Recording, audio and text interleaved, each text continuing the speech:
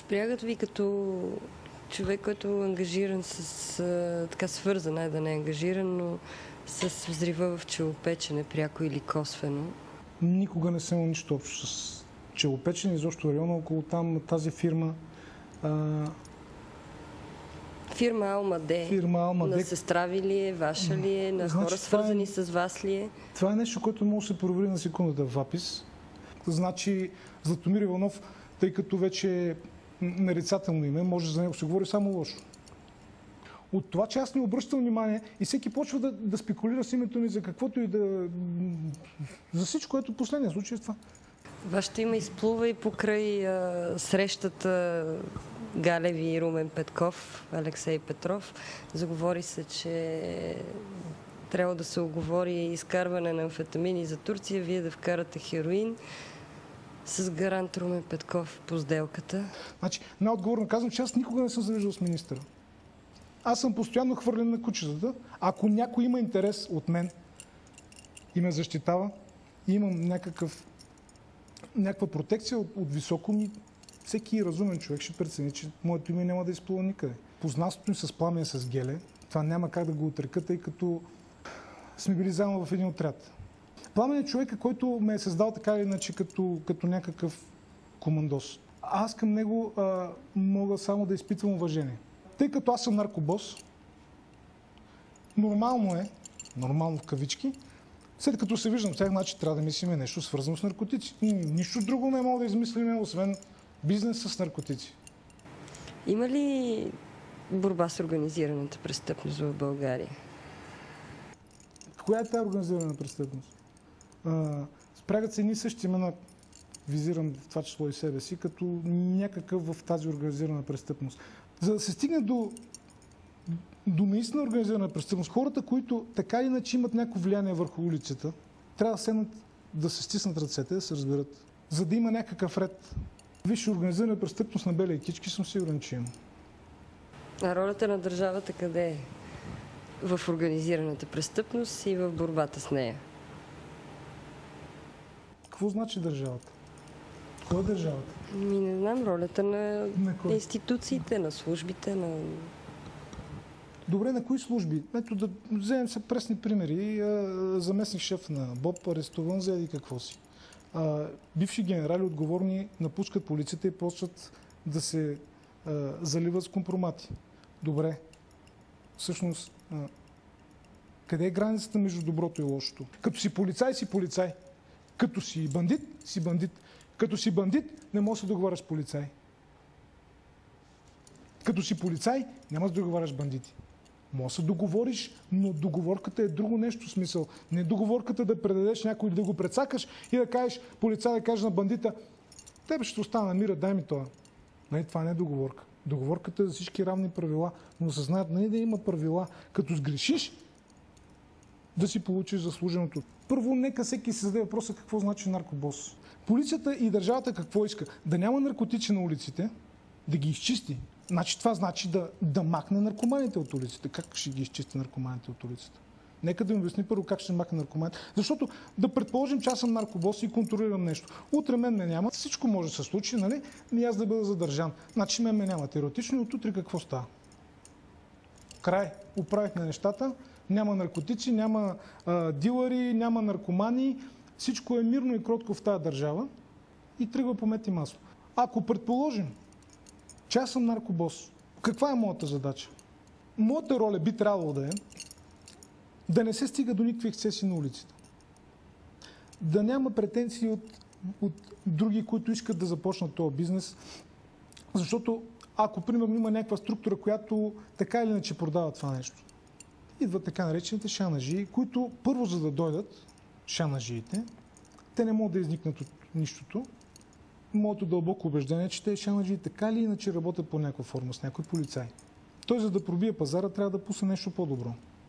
Като пусне това по-добро, потребителя, след като вземе това по-добро, единият вариант е може да достигне някакви осложнения, дори до смърт. Това е едно.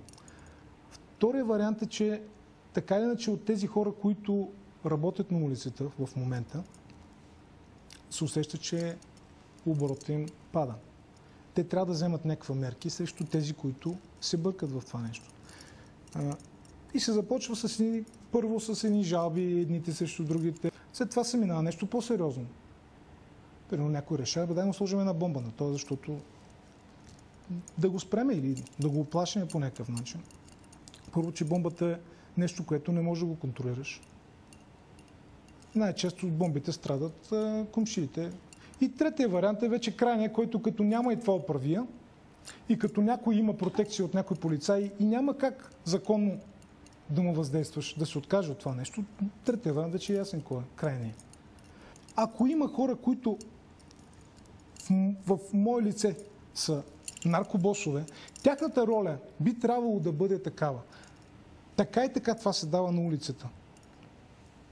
Поне да има някакъв относителен мир на тази улица. Да няма бомби, да няма убийства, да няма грабежи, да няма побоища и да няма напрежение на улицата. Знам, че говоря брутално в момента, но това е самата истина в България и в целия свят. И ние постоянно заобикаляме и почваме си говорим някакви пълни глупости. Кой, какво, защо, за той е наркобоса, той е виновен за това, той е виновен. Ма за какво е виновен наркобоса? Така ли е, че аз в, в цялото си развитие като съзнателна личност съм бил в, грубо казано, силови структури. Аз съм бил спортист, завършен спортно училище борба. После съм завършил, имам военно образование. После съм бил във Вране. А, аз не мога да стана счетовител.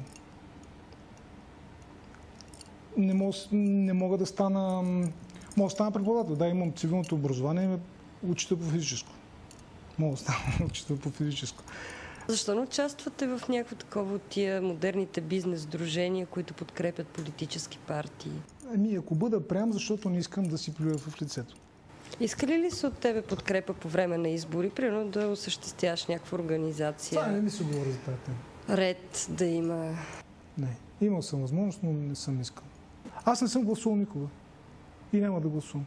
И най защо? Не искам да правя богати хора, които не са заслужили.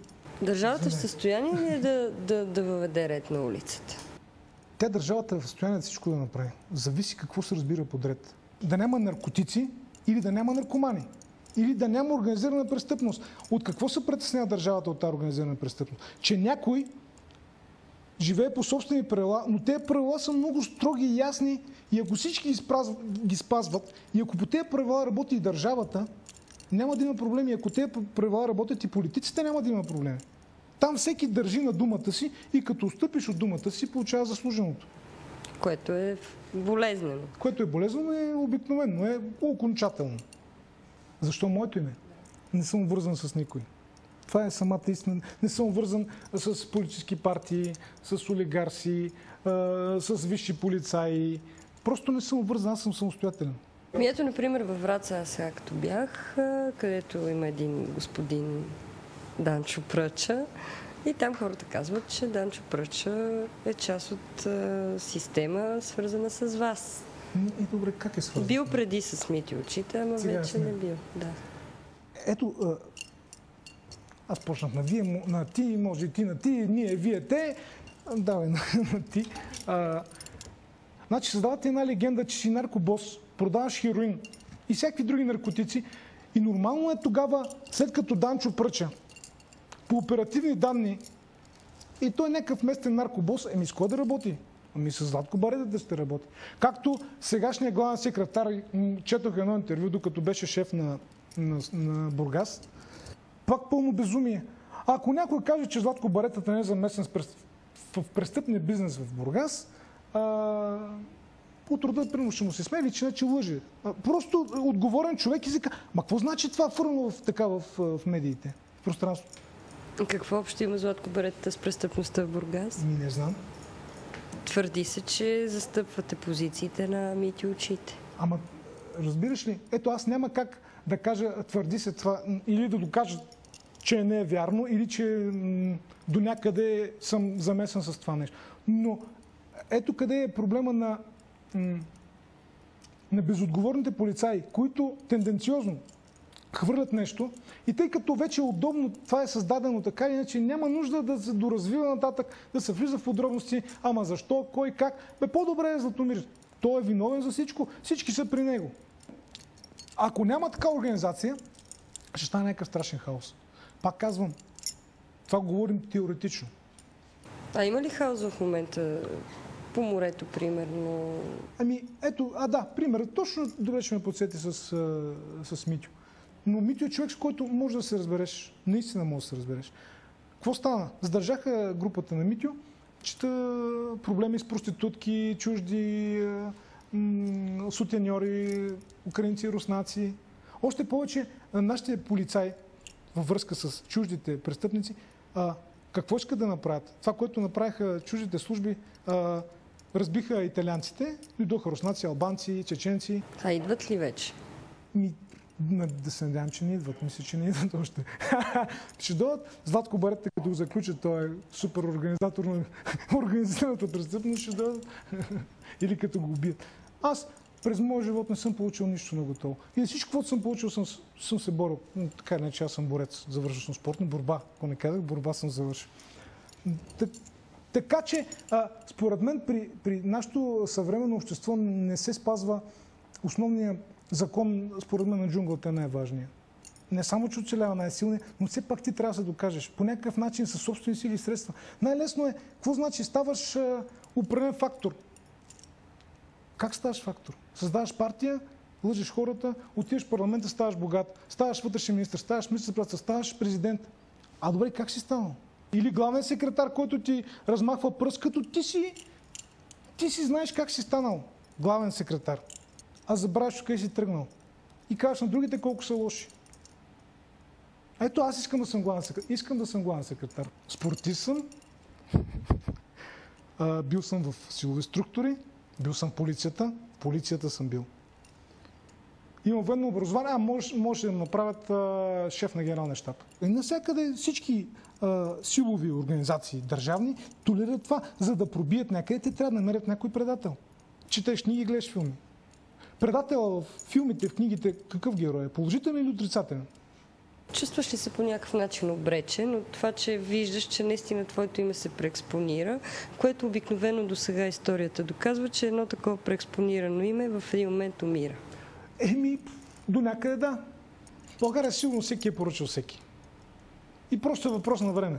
Човек така се самозалъгва, защото всички, с които се е случило в си казват, с мен няма да случи или пък ще имам шанс. Аз съм черната овца, разбираш ли? И съм изгодният вариант да си измият ръцете с мене пред европейски, пред американци и пред всички. Ето го лошия. Вече там си замина където си трябва, в затвора. Това е притеснителното. А честно казвам, мен, за да, за да ми измислят, точно буквалният мен трябва да ми измислят нещо. Трябва да ми хвърлят нещо, трябва да намерят някой кошеревец, който да каже нещо. То е... Това е... Друго няма как да стане. Просто за това казвам, колкото идват вкъщи, няма какво да намерят, ако не си го носят. Имаш ли много пари? Достатъчно имам. Много не. Не. Да, парите, които съм си, ги изкарал, съм си ги изкарал с труд. С риск. Имаш три деца. Трима сина. Какво им казваш, какво работи баща им? Изобщо не говоря на тази тема вкъщи. Големия, според мен, той вече се усеща, защото той е голям, той е на 13 години. Но неговата мечта е, например, да стане барета. Това е моя мечтата. Не знам. Не знам. Ето ти разбираш, каквото и да стане. Мисля съм го много. Аз няма как да изчистя името си. Изобщо.